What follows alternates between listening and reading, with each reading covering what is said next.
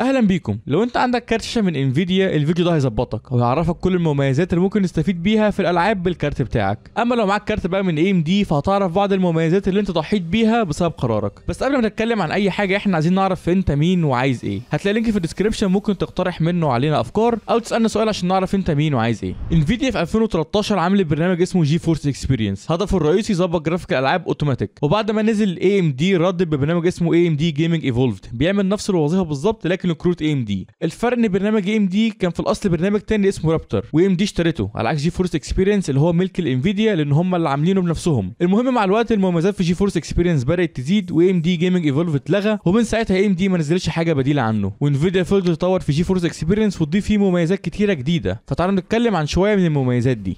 أول حاجة وهي الهدف الرئيسي بتاعه وهو تظبيط جرافيك الألعاب أوتوماتيك على حسب إمكانيات جهازك. فبكل بساطة تفتح اللعبة مرة واحدة بس على الأقل عشان البرنامج يقراها. وبعدين بتقفلها تاني وهتلاقي في tab Games جوه البرنامج اللعبة ظهرت فيه ولما بتدوس عليها بتلاقي زرار اسمه Optimize الزرار ده بيظبط جرافيك اللعبة أوتوماتيك لأحسن حاجة تديك جرافيك كويس وأداء مقبول في نفس الوقت وده أحسن اختيار عشان تلعب اللعبة على 60 frame على مقاس الشاشة بتاعتك إذا كان 1080 أو 2K أو 4K لأن كل resolution ليها إعدادات مختلفة. ولو حبيت تعلي الأداء على حساب الجرافيك أو العكس عن طريق حاجة اسمها custom settings تقدر تحدد أنت عايز أداء عالي عشان مثلا لو عايز تلعب على 144 frame أو أكتر. أو مثلا تحدد إنك عايز graphics أعلى فيعدل لك ال graphics لكن مقابل إن ال frames هتقل عن 60 frame.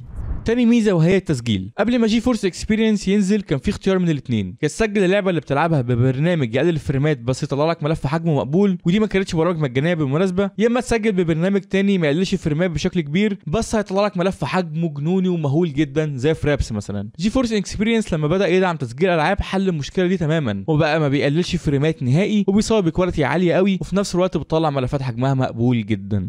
تالت حاجة هي خاصية ShadowPlay اللي اتضافت بعد ما اضافوا التسجيل. دي خاصية بتخليك تسجل لحظات معينة من غير ما تسجل اللعبة كلها. بمعنى انك مش هتسجل كل حاجة هتلعبها عشان تصور حاجة معينة. انت بكل بساطة هتسيب ShadowPlay شغال مجرد ما يحصل حاجة انت عايز تسجلها بتدوس على زرار في ال keyboard هيسجل لك آخر خمس دقائق بس. على هيئة فيديو عندك على ال hard عشان تسجل الحاجة اللي حصلت لك في اللعبة من غير ما تسجل كل اللعب بتاعك. والوقت ده ممكن تزوده لحد 20 دقيقة فممكن تسجل لحد آخر 20 دقيقة انت لعبتهم.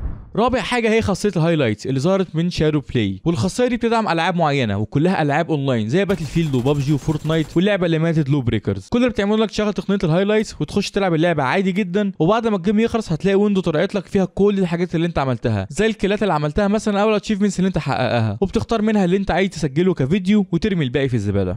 خامس حاجة هي ال screenshots. محدش هيصدقني لو قلت لكم إن GeForce Experience قعد فترة طويلة بيصور فيديوهات بس من غير ما يكون بياخد screenshots. لكن طبعا دلوقتي بياخد screenshots عادية جدا أو screenshots مميزة جدا. ممكن تدوس على زرار معين في ال keyboard عشان ياخد صورة اللعبة ويسجلها لك في مكان معين لكن ده العادي في برامج كتير جدا بتعمله. المميز بقى في GeForce Experience إن في تقنية تصوير متطورة جدا واسمها Ansel ودي بالظبط عاملة زي ال photo mode اللي موجود في بعض الألعاب. واللي بتدعم ألعاب معينة بس زي The Witcher 3 أو Hellblade أو غيرهم. وده بيخليك تتحكم في كاميرا وهمية جوه محرك اللعبة وتظبط زاوية التصوير مدى اتساع العدسة وال exposure بتاع العدسة اللي هو كمية الضوء اللي بتخش جوه العدسة والسطوع بتاع الصورة. كأنك بالظبط ماسك كاميرا جوه عالم اللعبة في لحظة معينة ثابتة وتقدر تغير الألوان وتعمل بعض ال effectات على الصورة. واللي حلو جدا بقى مميز موضوع إنك ممكن تصور صور ب resolution ضخم جدا وأكبر من مقاس اللعبة على شاشتك تقدر تصور مثلا ب resolution 16K وتقدر كمان تاخد صور 360 للمكان اللي أنت فيه. الحاجات والاختيارات وال possibilities اللي ممكن تعملها كتيرة جدا ولا نهائية. وفي ناس صوروا صور حلوة جدا باستخدام Ansel. سادس حاجة هي Freestyle أو ال game filter وده ممكن عن طريقه تعمل effectات معينة زي تغيير ال brightness أو ال contrast بتاع اللعبة نفسها وأنت بتلعب. وتقدر كمان تزود الألوان أو تقللها اللي هو ال saturation فتقدر تخلي اللعبة بالشكل مريح ليك أو بالطريقة اللي تخليك أحسن فيها عشان تقدر تشوف الحاجات بشكل أحسن وأوضح. أو ممكن تستخدمها كمؤثرات تصوير تستخدمها في ال screenshots بتاعتك أو حتى في الفيديوهات اللي بتصورها للعبة.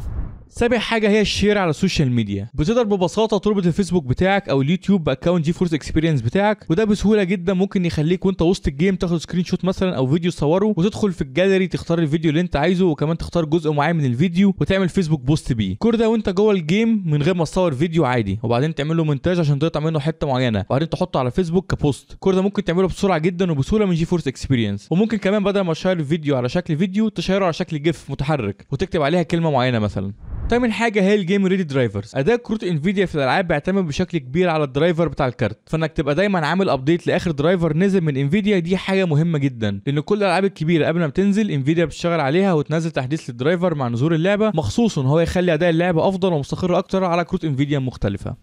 دول أهم 8 features بتقدمها انفيديا لل gamers بشكل مجاني مع كروت انفيديا وده اللي بيخليهم أفضل حاجة لل gaming بجانب بعض التقنيات التانية اللي لسه حاجات تحت التجربة زي Nvidia Shield مثلا واللي بتخليك تتحكم في اللعبة وأنت في مكان تاني بعيد. بس لسه تقنية ملهاش تطبيق فعلي بشكل ممكن نستفيد بيه. بس حاجة زي دي هتستخدم في ال cloud gaming عشان تقدر تلعب لعبة مش على جهازك أصلا أو تلعب من الصالة مثلا على جهازك اللي جوه الأوضة وأنت قدام التلفزيون. المهم كده إحنا هنكون وصلنا لنهاية الفيديو بتاعنا. ما تنساش تقول لنا أنت مين وعايز إيه. ال link تحت في ال description ولو عجبك الفيديو اعمل like و subscribe للقناة. وبص على قرارات التقنية الجديدة بتاعتنا ارتك ولحد الفيديو اللي جاي سلام.